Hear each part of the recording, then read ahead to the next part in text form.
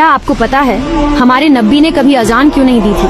आइए जानते हैं, हमारे नबी ने फरमाया, अगर मैं अजान दे दूँ तो मेरी आवाज़ सुनकर दुनिया की सारी मखलूक उस आवाज़ के पीछे खींची चली आएगी और हर एक चीज़ अपनी जगह रुक जाएगी। चाहे वह इंसान हो, या जिन्नात हो, जानवर हो, या पेड़ हो, पौधे हो, जो बेजान चीज़ें हैं उनमें भी जान आ जाएगी और वह उस जगह से उठकर मस्जिद में आ जाएगी।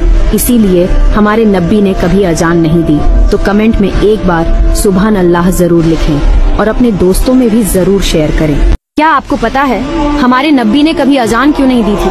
आइए जानते हैं, हमारे नबी ने फरमाया, अगर मैं अजान दे दूँ तो मेरी आवाज़ सुनकर दुनिया की सारी मखलूक उस आवाज़ के पीछे खींची चली आएगी और हर एक चीज़ अपनी जगह रुक जाएगी। चाहे वह इंसान हो या जिन्नात हो, जानवर हो या पेड़ हो, पौधे हो, जो बेजान चीज़ें हैं, उनमें भी जान आ जाएगी और वह उस जगह से उठकर मस्जिद में आ जाएगी।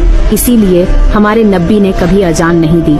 तो कमेंट में एक बार सुबह अल्लाह ज़रूर लिखें और अपने दोस्तों में भी ज़रूर शेयर करें।